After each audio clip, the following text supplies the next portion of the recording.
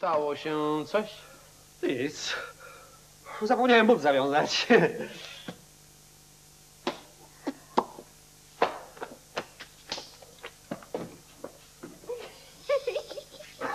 Proszę państwa, chciałbym państwu przedstawić naszego przyjaciela i zarazem sąsiada.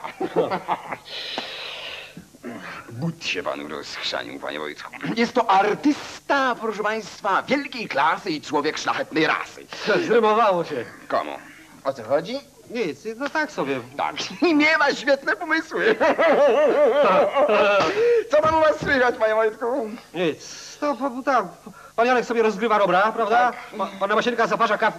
Nie ma, nie ma kawki, nie ma żadnej kawki, nie Co ma. pan za bzdury plecie? Słowo honoru, nie ma żadnej kawki. Co się pan tak tej kawki przyczepił? Przecież pan wie, że ja nie lubię kawki. No właśnie, właśnie dlatego Co dlatego? nie ma żadnej kawki.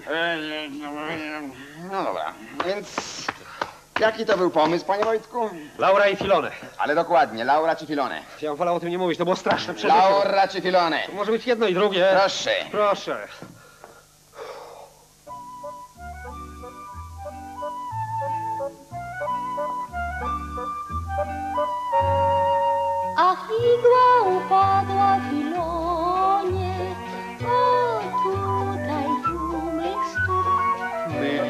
Lauro kochana, w moje serce wpadła jak w grób. Pan wiesz, ostatni raz śpiewamy razem?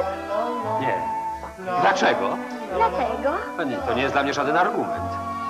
W Ilonie, stary bałwanie, podnieś igłę i zamknij drzwi. Nie mogę, Lauro kochanie, w moim sercu ta igła tkwi. To ja już dla pani się nie nadaję? A nie, Sama pani będzie w duecie? ty sama. Ciekawe, kto za mnie wskoczy. Ciekawe. W Ilonie nie strugaj turka, schyl się po igłę, schyl. Upadła prosto z tamburka, właśnie gdy śpiewał Gil.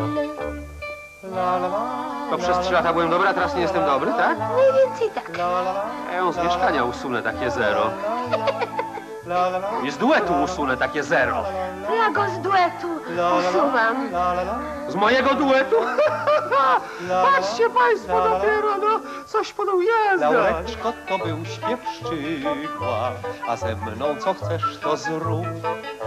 W serce upadła Takie zero.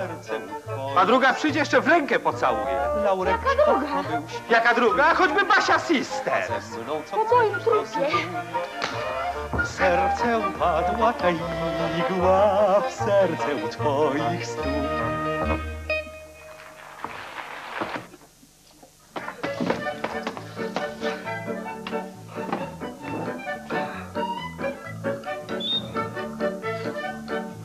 To co?